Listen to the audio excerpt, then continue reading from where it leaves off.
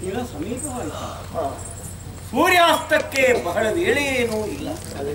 ಶ್ರೀಹರಿಯನ್ನೇ ಧ್ಯಾನಿಸುತ್ತಾ ಧ್ಯಾನಿಸುತ್ತಾ ಮನಸ್ಸನ್ನು ಆತನಲ್ಲಿ ಲೀನಗೊಳಿಸ್ತೇವೆ ವಾಸುದೇವ ಯಾರು?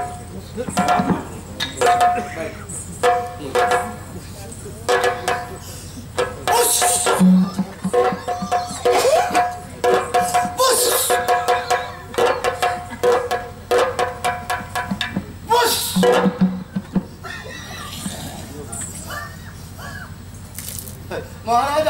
ನೋಡಿದ್ರೆ ಗೊತ್ತಾಗ್ತದೆ. ಈ ಈ ನೀವು ಯಾಕೆ ಬಂದಿರಿ ಸ್ವಾಮಿ? ನಿಮಗೆ ಬೇರೆ ಏನಾದರೂ ಮಹಾರಾಜರನ್ನು ಕಾಣಬೇಕು ಅಂತಲೇ ಬಂದದ್ದು. ಒಳ್ಳೆ.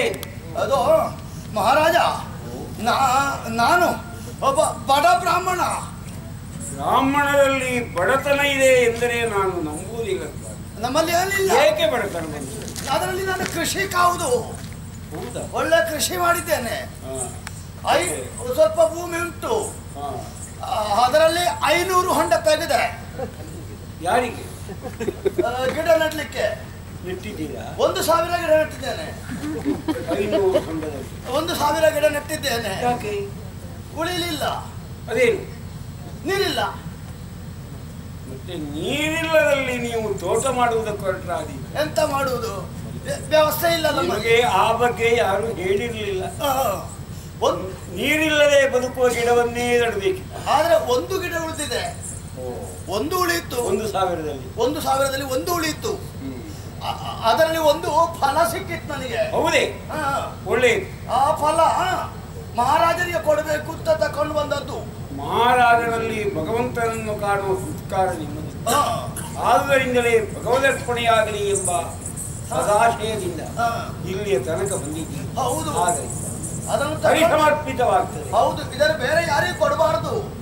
ಮಹಾರಾಜರು ತಿನ್ಬೇಕು. ಕೊಟ್ಟಿದ್ದೇನೆ! ಬೇಕಾದ್ದನ್ನು ಕೊಡ್ಕೊಂಡು ಹೌದಾ?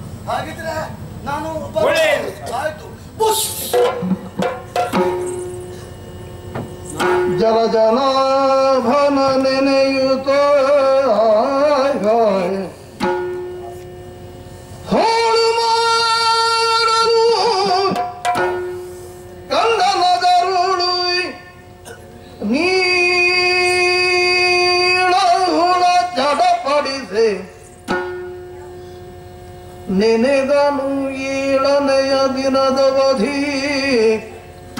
ಮುಗಿಯುವ ಸಮಯ ಬಂತೆಂದು. ಹೇಳಿದನು ಮುನಿ ವಾಕ್ಯವು ಮಾತು ಎನ್ನಯ ಮಾತಿನಿ, ಎನ್ನಯ ಬಾಳಿನಿ ಹುದಿಯಾಯಿತೆಂಬ ಹಾಳು ನುಡಿ ಬರದಿರಲಿ, ಹರಿಯ ಧ್ಯಾನಿಸಿದ ಹರೇ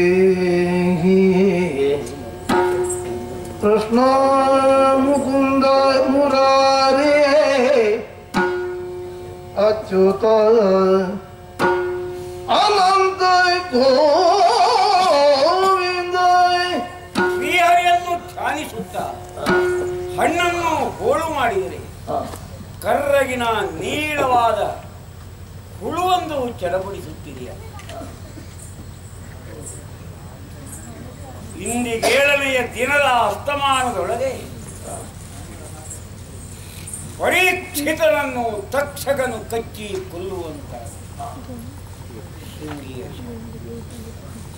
ಭಗವಚ್ಛಾನ ತತ್ಪರ್ಮ. ನನ್ನನ್ನು ತಕ್ಷಕನು ಕಚ್ಚಲಿದೆ ಇಲ್ಲವಾದರೆ ಬ್ರಾಹ್ಮಣ ವಾಕ್ಯ ವೃತ್ತಿಯಾದಂತಹ ಅಪವಾದ. ನನ್ನಿಂದಾಗಿ ಅದು ಬರದು.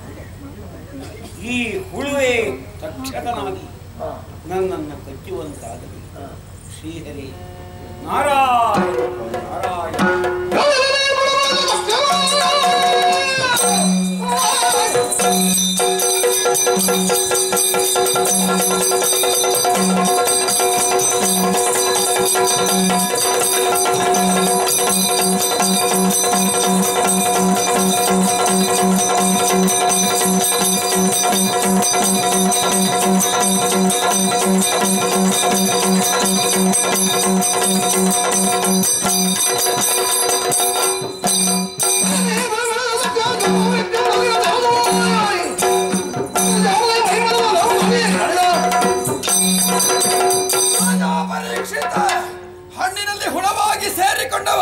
ತಕ್ಷಕರಾದಂತಹ ನಾನೇ ನಿನ್ನ ಸಾವು ಸಮೀಪಿಸ್ತಾ ಇದೆ. はい、腕け